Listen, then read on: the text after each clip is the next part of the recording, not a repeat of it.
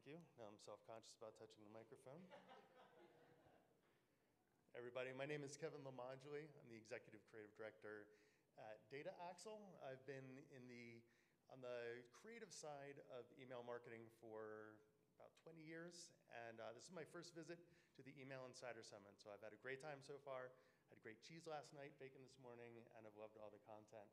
Uh, and this on, on screen is, uh, is uh, Iron Man, and this is kind of how we view ourselves as superhuman marketers. At least it's what we aspire to be, right? When we're combining that human intellect with technology and data and generative AI. So this is sort of what we are building towards our aspiration. And so what we're going to talk about today is sort of how we're going there and how we see ourselves making our, our way towards Ironman status. So first, just a little bit of background on Data Axle ourselves. We've been around for more than 50 years providing data to our clients. We're an original compiler of both uh, business and consumer data.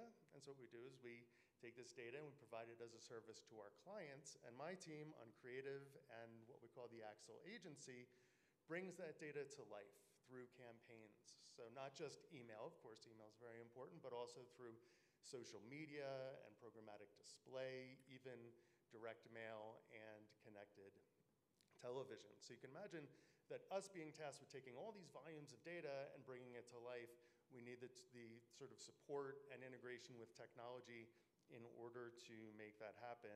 And so that's what sort of the voyage that we've been on for quite a long time, especially over the course of the past year. So I know we've done this survey a couple times, but I want to see it from this angle. Who in the room has at least played with any of these generative AI tools, ChatGPT, even if it's just to write an anniversary card or a poem about your dog? I've done both of those things. It looks like about two thirds of you have, which is great. So I've been working with generative AI for about three years now. Uh, so I would consider myself, I guess, an early adopter. Um, but a year ago, uh, ChatGPT was released, a year and a couple days ago. And it was no longer a secret weapon, right? Everybody was talking about it, hearing about it, everybody had access to it, and it was the most powerful version of generative AI any of us had had up to that point. So we knew it was time to integrate this into our team. It was important to introduce this within our creative process more fully. We have about 40 people um, on our creative team, including designers, copywriters, animated. There's a lot of efficiency to be had by integrating generative AI and things like um, ChatGPT. So uh, we did the right step and we took it we, we introduced it to our team. We said, check this out, it's really cool, it's new, it does all these things. How can we integrate this into our workflow? And they came back and they said, yeah, it's cool. It has a prompt, you type things in you want, and it gives you stuff back. Not really usable stuff, but inspiration.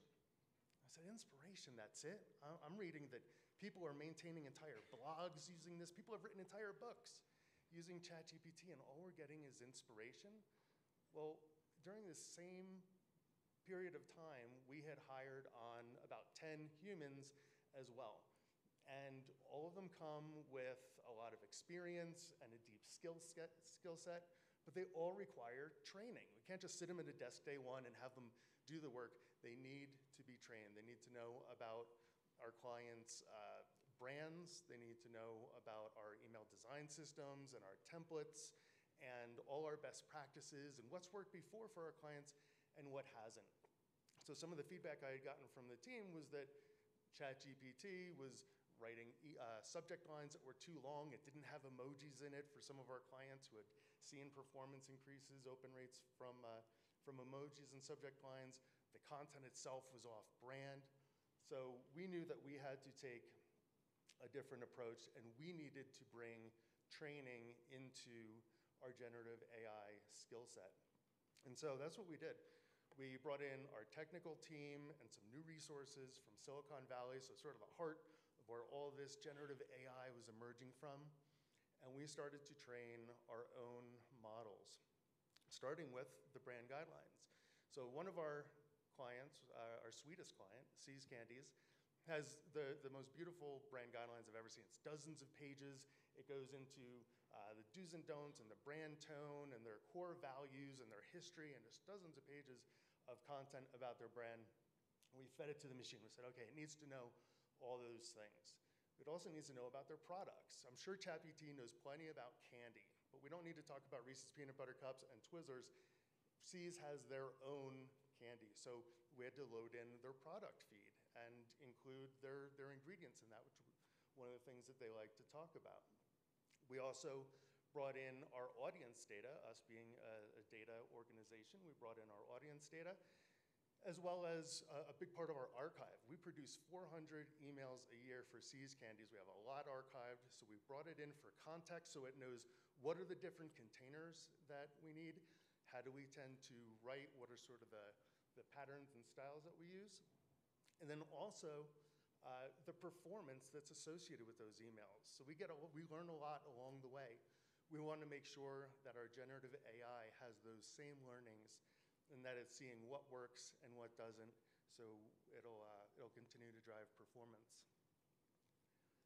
And so we now have a system in which we are able to not be prompt engineers, but just tell it what we want. So in the case of See's Candies, we're able to just put in a line like promote uh, peanut brittle or celebrate Star Wars Day. And it'll then generate for us the pre-header and the subject line and the headline and the content and the call to action, all within the parameters of what we have uh, coded into it, what we've trained into it. In addition, we've done this for about six clients total. These are a couple of examples here from Darden Restaurants, so Eddie V's, which is more upscale dining experience, and Yard House, which was much more of a, a brew pub. These all have very uh, very distinct brands, distinct menus, distinct offerings. So making sure that we have separate models for each ensures that we're getting the content that we need from each of those. Also, our, um, our generative AI models are secure. So we're not training ChatGPT out there. We're not training a public model that now becomes shared with our competitors and everything. It's still owned, it's proprietary, all the information that we load into it remains proprietary to us and to our clients, remaining secure.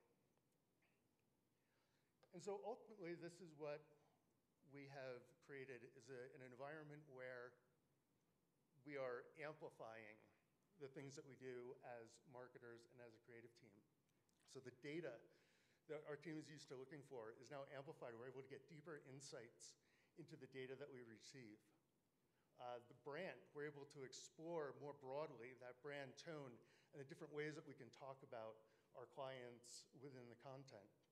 And then variations, right? That's the big promise of generative AI is getting more versions, versions out there. So um, more for testing and more for segmentation and for personalization. So that's my time. That's the journey that we've been on. Um, Appreciate the time with you all. Feel free to download our latest white paper on navigating data, and feel free to talk with uh, some of my colleagues in the room.